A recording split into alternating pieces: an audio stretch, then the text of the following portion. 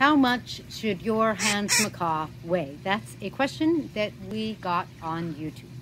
Hi, I'm Kaylin, the author of The Parrot Bliss Bond, and the soon-to-be bringer to you of Tink's CBD oil for parrots, which I will be making available soon.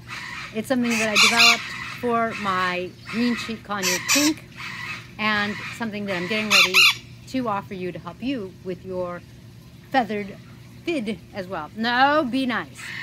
So how much should your Hahn's Macaw weigh? Um, a Hahn's Macaw is meant to weigh like 130 to 150 grams. We measure in grams because it gives us a more precise measurement than ounces.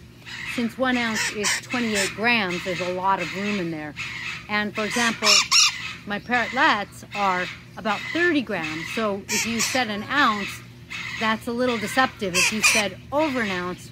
Anyway, so we measure in grams. However, the best way to really measure your parrot's weight and health is to, okay, are you going to show them? Are you going to show them? Is to keep track of their breastbone. Go there, Binks. Their breastbone is the bone right here and Binks is going to let me do it more than Emerald. So, the bone right here, and you feel the bone. When you can feel the bone, well, the bone is going to either be kind of level, if my middle finger is the bone, where you run your finger over it and it's all kind of level. That means the muscles and the bone are about the same level and you have a healthy parrot. It's, oh. When the bone is higher and so you feel a bump, your parrot is thin. So regardless of the number of grams, that's something to look at because you're a little thin. On the other hand, when, it's hard to do, you're going like this and there's a bump, but the bone's really going in, then the meat's sticking out because there's a little too much fat. It's really good to measure an individual bird's weight that way because that actually tells you whether your individual parrot is really a little underweight, is really pretty good, or is a little overweight.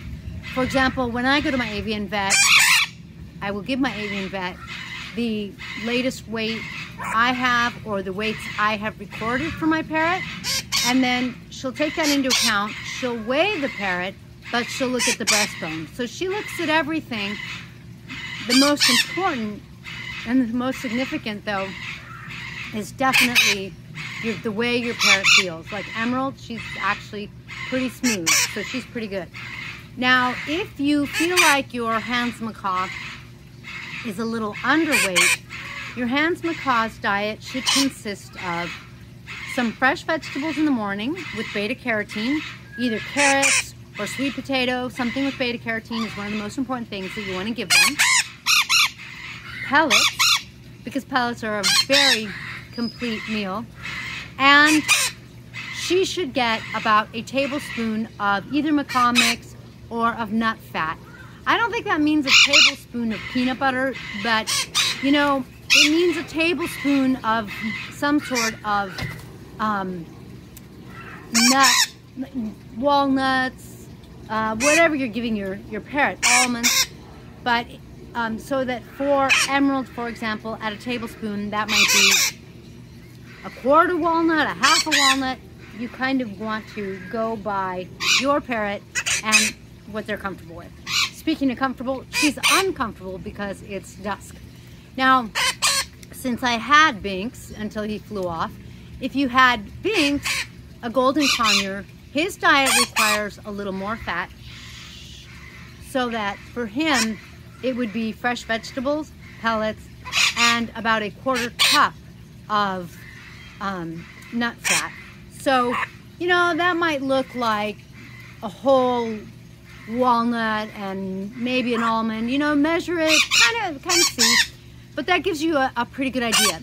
That nut fat is significant for both these birds at the proper amounts so that you have a nice, happy, healthy, and blissful parrot thank you for the question. I'm to take Miss Nervous Butt in now. if you have any questions about parrots, please be sure to post below. or join our group on Facebook at Parrot Bliss Flock and I'll get you the information on Tink's CBD oil soon. Until next time.